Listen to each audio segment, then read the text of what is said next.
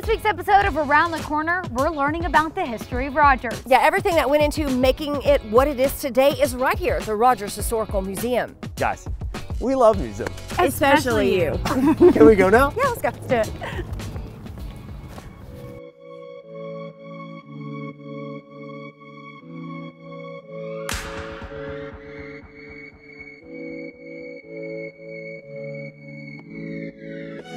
You ever wonder where Rogers gets its name from? Because of this right here. The San Francisco Rail Company is coming through Northwest Arkansas, but where are they going to put the tracks down? The general manager at the time is trying to figure that out. C.W. Rogers. The people living here, they rush out. They're like, pick us, pick us.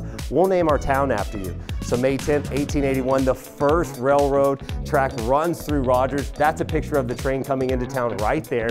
Now at that time, apple production was booming here. That dominates the cargo on the trains until bugs, disease, weather cripples the production of the apples doesn't slow the people down. They pivot towards poultry, and we know where that got us today.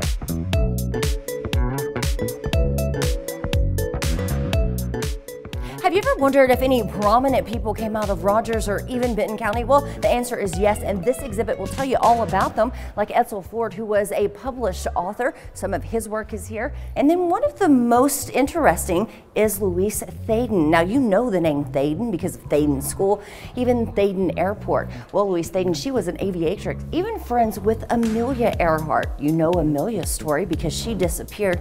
It made headlines. But Louise here, she actually competed against Earhart, and she would win a lot. There's some pictures here of her back in the day, 1920s, at the Women's Air Derby. Now, this exhibit is going to tell you all about her and her story. Many others who come from Benton County and Rogers. You definitely want to check it out.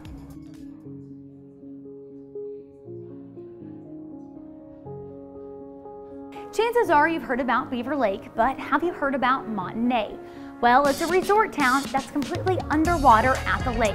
So let's set the scene. It's the early 1900s. William Harvey moves from Chicago to Northwest Arkansas, buys 300 acres of land, and decides he wants to make a resort town. This right here, Monte Ne. They had their own post office, their own school, their own bank, and they even had the first indoor swimming pool. Sounds like a pretty cool place, right? First indoor swimming pool in the state. Well, this was a happening spot for about two decades, but unfortunately, Harvey got into some financial troubles. From there, he sold the place off, but unfortunately, it was kind of let go after that.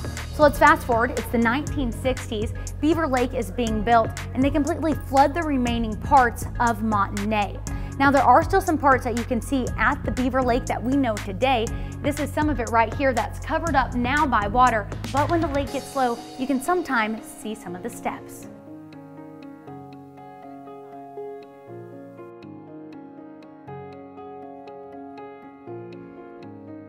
In addition to the permanent exhibit highlighting the history of Rogers, they also have temporary ones here, like this one highlighting the toys all the way back to the 1800s to the 2000s. Yeah, some of you still upset about the lines y'all were in for the Cabbage Patch doll and the Tickle Me Elmo. Yes, if you want to be reminded about those potential fights you got into, you can come and check out this exhibit, but not for long. It closes after Saturday, so come out this weekend. But the good news is they have more exhibits on the way. The next one coming is about the age of alcohol and the prohibition. Have to see that one. All right, we'll see you next time on Around, Around the, the corner. corner.